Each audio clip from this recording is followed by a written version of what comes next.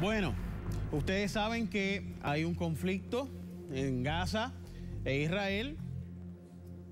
Yo sé que mucha gente está pendiente, sobre todo por asuntos religiosos, la perspectiva religiosa de esto.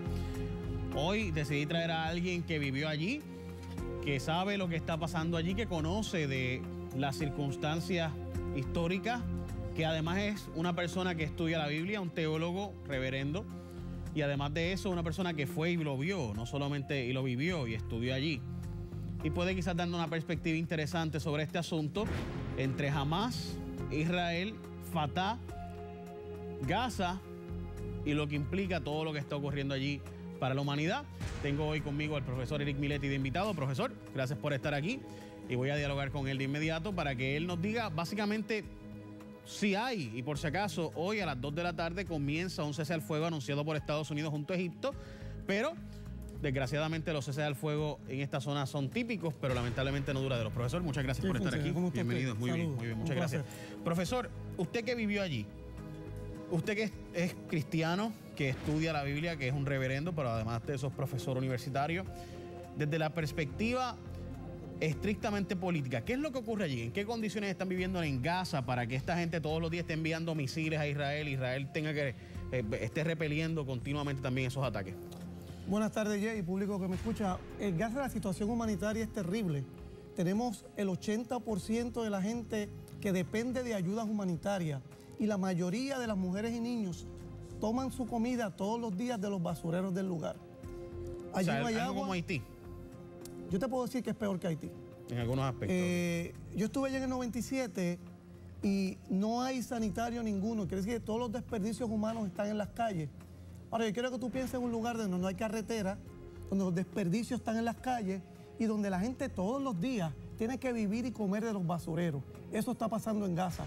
Y ahora con los bombardeos la situación está mucho peor. ¿Y, por qué es así? O sea, por, qué, ¿por qué esta gente vive en estas condiciones? Cuando en Israel se vive en un país relativamente próspero en comparación. O sea, el vecino de al lado, y digo vecino por no decir que es el mismo país, o sea, Gaza está aquí, Israel está ahí, justo al lado, Israel los tiene arrinconados ahí. Vive relativamente bien. En términos generales, en el 2005, Hamas, que es una organización considerada terrorista por muchos países desarrollados, tomó el poder de la franja de Gaza. Eso quiere decir que está visto esa área como un área totalmente terrorista. Claro, hay que decir también, honor a la verdad, que jamás ha estado lanzando cohetes hacia el área de Israel. Israel está contestando ahora. Esto es una tradición muy larga de lucha, pero la facción de la derecha en Israel, que debemos recordar que mataron a Rabín, que es la persona que propone la paz entre ambos pueblos, eh, está obligando a que no haya la paz y jamás no quiere que haya la paz a menos que no los liberen. Esta gente no puede viajar, no puede llamar por teléfono, están totalmente rodeados, no pueden utilizar sus playas. Y recordemos que hace algunos años un grupo de hombres y mujeres que fueron allí con barcos a llevar ayuda humanitaria fueron detenidos por el gobierno de Israel. Hoy se anuncia un cese al fuego. Israel lo que dice es, espérate, espérate, es verdad, todo lo que dice el profesor es verdad, están viviendo en condiciones paupérrimas, viven, nosotros le damos ayuda y todo. Israel lo que dice es, pero esta gente escogieron un gobierno terrorista que todos los días envía cohetes hacia Israel desde Gaza y todos los días está bombardeando a nuestros vecinos. Hay gente que muere, no es tanta eh, como obviamente lo que ocurre al revés. Cuando Israel es quien ataca a Gaza, mueren 130 personas. Cuando es Gaza, desde Gaza, de los Hamas quien ataca, mueren dos, tres personas. Pero está brutal no vivir en un país donde todo el tiempo están enviándote cohetes y misiles desde otro lado. ¿Cuándo esto va a culminar? O sea, ¿hay alguna pues, posibilidad de que esto acabe? Bueno, varias cosas tienen que pasar. Número uno, jamás tiene que deponer las armas y hacer arreglos con la Autoridad Nacional Palestina que está dirigiendo Cisjordania y que de alguna manera dirige políticamente la Franja de Gaza. Número dos, la derecha israelí tiene que cesar sus esfuerzos por mantener la guerra y por destruir a los palestinos y sacarlos de Gaza.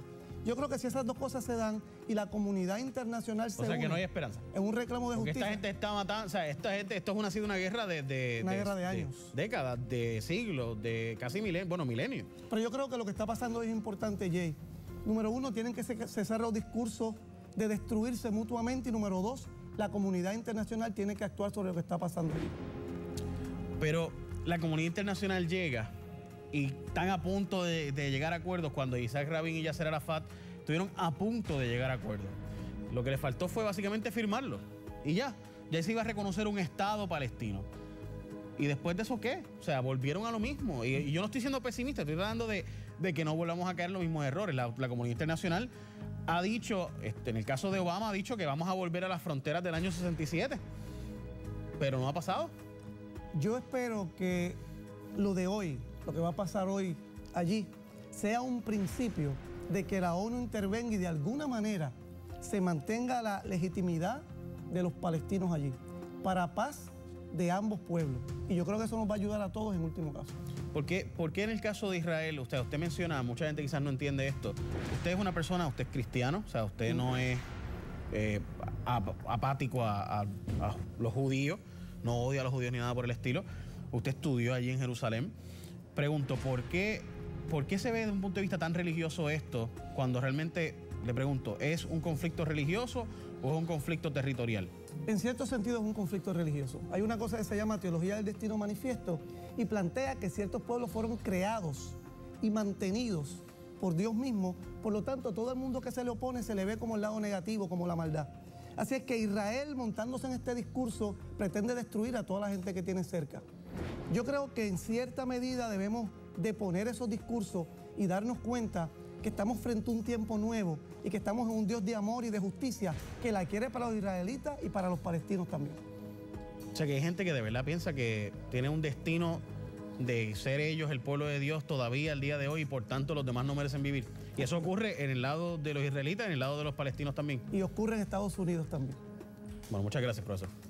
Bueno, profesor Eric Miletti, ya lo escucharon ustedes. ¿Qué tú piensas? Me encantaría saber tu opinión. Va, ve a mi Facebook, facebook.com diagonal jfonsecapr o a mi Twitter, twitter.com diagonal jfonsecapr, at jfonsecapr. Dime tu opinión, ¿cuál tú crees que es la solución a esto? ¿Realmente en algún momento se va a resolver? Adelante, Dagmar.